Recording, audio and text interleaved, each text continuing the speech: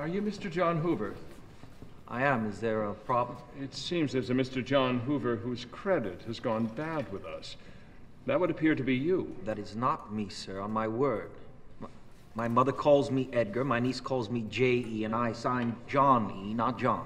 Well, sir, if you're a friend of Mr. Tolson's, just choose one name and reapply. All right.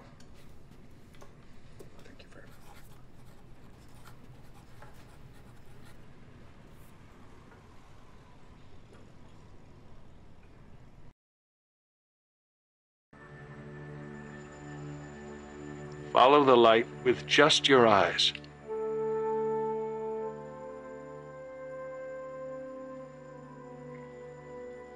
Is the light on or off?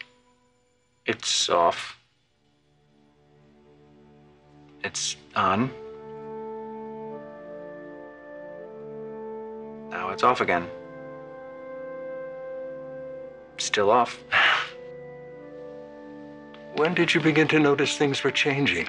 I, uh, I, I don't know. I felt pressure and, and, and twinges, you know, in my eyes. And then yesterday downstairs, I, there was like this light, a flash of light, and I could see like blurry images. And then it became more clear. I was How able to much make clearer? out. Well, I, I can make out people's faces across the room now, and I'm able to read text that's smaller and smaller. Good. Very good.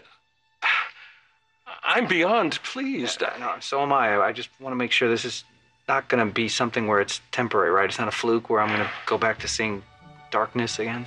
I can't definitely tell you that won't happen. But you have a reason to be optimistic. I want you to come to the office and uh, have a more thorough exam. Okay, I'll set up an appointment.